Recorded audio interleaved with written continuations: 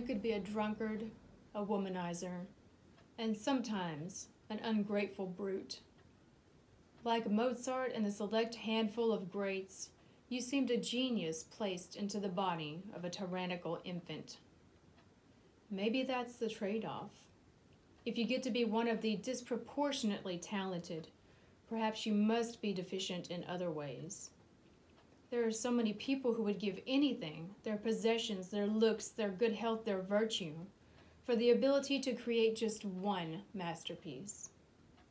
Whatever the reason, sometimes the most unrefined instrument is the one that produces the most resonant sound.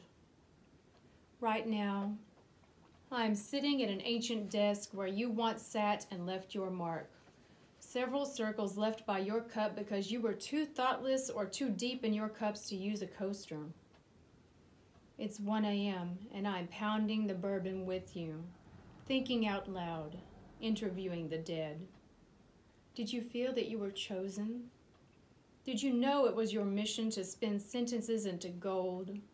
Were the right words ready and waiting inside you? Did they just rise to the surface easy like champagne bubbles? Or was it agony, having to sort and torture them out? How did you do what you did? Damn it, I want you to tell me your secrets. Now the house moans about aging, its boards creaking and joints popping, but you are silent. Let's face it, you could be such an ass, you probably wouldn't answer me anyway. So I'm thumbing my nose at you, but in the same breath, I must salute you.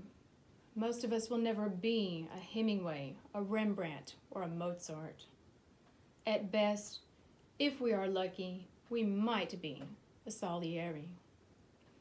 The mediocre masses will continue to travel to places like this where you or the other masters worked and played.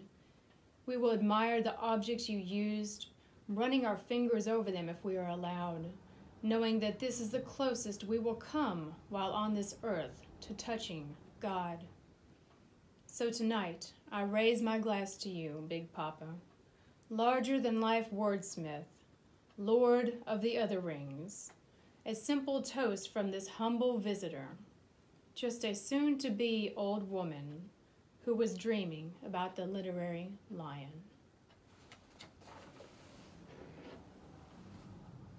To Hemingway.